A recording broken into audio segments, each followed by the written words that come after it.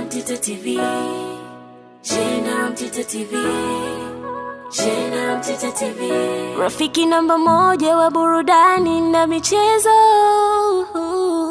Rafiki namba moja wa burudani na michezo. Shule ya sekondari ya wavulana Sullivan Provost iliyoko Kibaha kwa Matias wamefungua dirisha la usajili kwa wanafunzi watakaojiunga kidato cha kwanza mwaka 2025. lakini niwaambie wanahabari, Yanga Sport Club ni timu kubwa kwa sasa hivi, na kama ni kubwa, ina hamu ya kufanya vitu vikubwa ambavyo havija- havijawahi kutokea kwenye nchi hii, na moja ya hamu ya kufanya kufanya vizuri ni kubingwa wa klabu bingwa barani Afrika, na huwezi ukauchukua ubingwa wa klabu bingwa barani Afrika bila ku, ku, ku, kuwa na malengo makubwa, na mojawapo ya malengo kunacheza unacheza ligi moja zaidi, lakini sehemu nyingine lazima uipe mbele kidogo. Sisi tumekuwa mabingwa wa, wa, wa, wa ligi kuu ya NBC msimu uliopita, na hatutaki kuupoteza ubingwa wetu, tunataka tuulinde. Lakini huku mwaka huu tumekuja kwa dhamira kwa dhamira kubwa ya kuchukua ubingwa wa klabu bingwa. Kunaambia msimu huu amjaweka nguvu kubwa sana ligi kuu Tanzania bara, mnataka CAF Champions League. mwaka huu tunataka tuheshimishe hii nchi, tunataka tuchukue ubingwa barani Afrika, na ndio maana ume, umeona kwamba katika timu, timu hapa za barani Afrika timu ya kwanza katika kufika makundi ni Yanga pekee ambao imeingia kwa, kwa kishindo kikubwa cha kufikisha magoli kumi na saba mpaka hatua ya makundi lakini kwenye ligi hatutaki napo tupoteze ubingwa, bado tunataka tuendelee kutetea ubingwa wetu.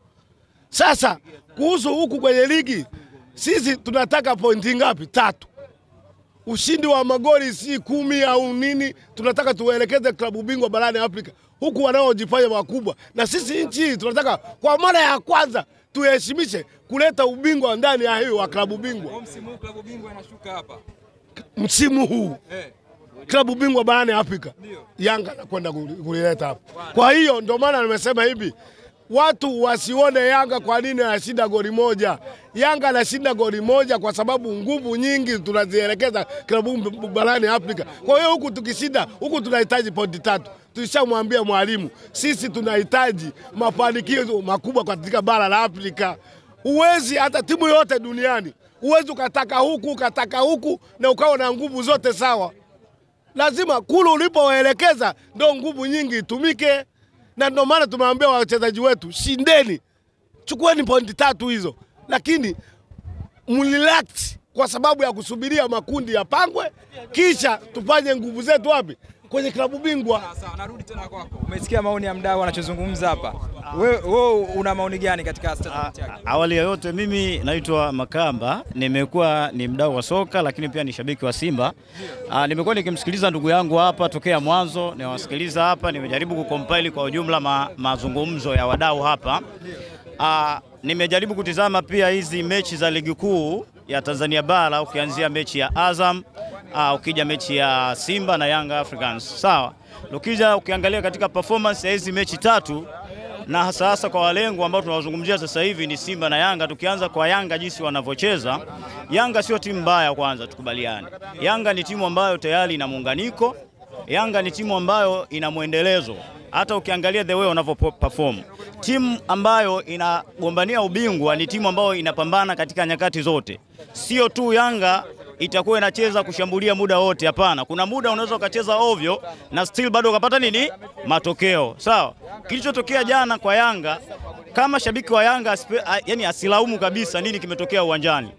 Take an example, angalia mtiririko wa ratiba ya Premier League ya Tanzania na Champions League zilivyo, alafu angalia timu ya Yanga ilivyo na opponent ambaye anakwenda kukutana naye. Je, recovering Yanga amefanya muda gani? Umeelewa?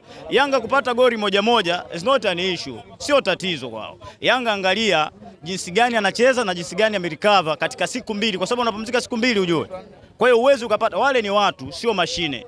Kwa hiyo anapokuja kupata goli moja, sio kwamba unalaumu kwa nini kapata goli moja, umenielewa?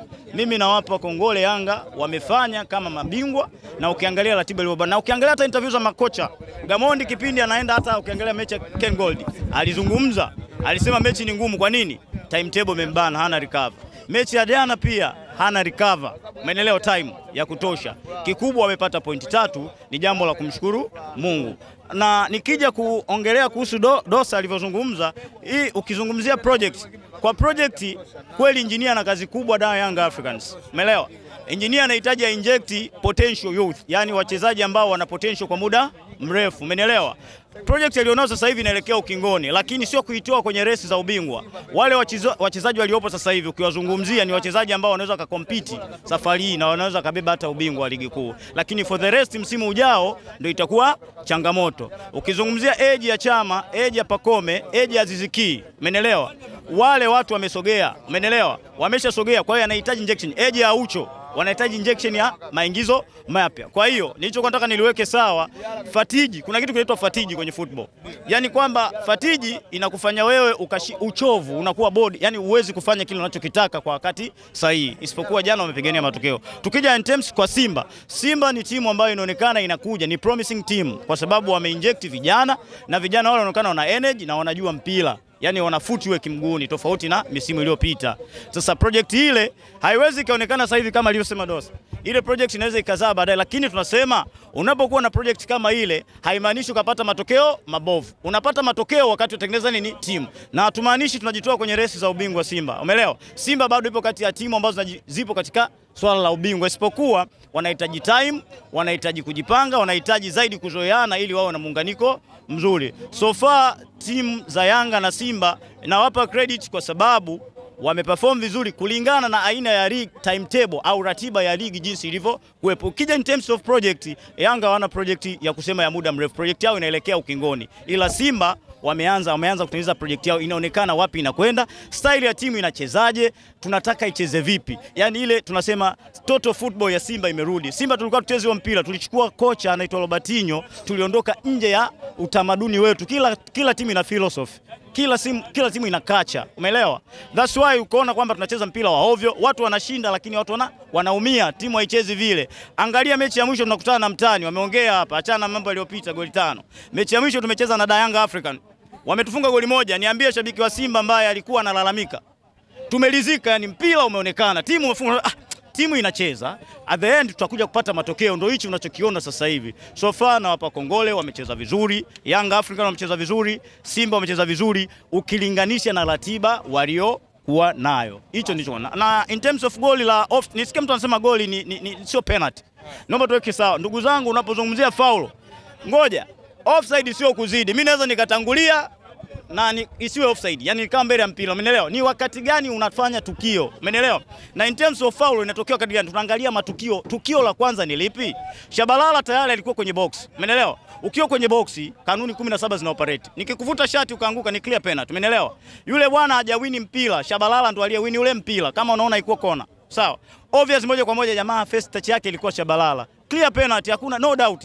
Mara ya kwanza mimi nilikuwa naangalia mpira nikasema tume sio penalty, lakini vile kuangalia picha za marejeo it's a clear penalty. Kwa hiyo tuwekane sawa, tusiongelee sana ushabiki, wakati mwingine tuongelee nini uhalisia wa mpira ulivyo sasa hivi. So far kongole kwa Yanga, kongole kwa Simba, basi maisha yaendelee. Sasa sasa umesikia maoni ya hapo, anasema msimu huu malengo yake ni CAF Champions League kuchukua ubingwa ligi kuu Tanzania bara, atakuweka tu heshima, ndio maana anapata magoli machache, japo pia ubingwa anautaka, lakini nguvu nyingi ameweka CAF Champions League. Wewe kipi ambacho unacho kwenye maoni yako? Mi kwa maoni yangu, mwalimu ana target anapokwenda uwanjani, ni mechi gani anacheza kwa wakati gani na ni vitu gani anavyoface mbele. Yanga zile mechi zinavyochezwa, kuna target. Target yako anze kushinda. Target ya mwalimu yoyote ni kufanya nini?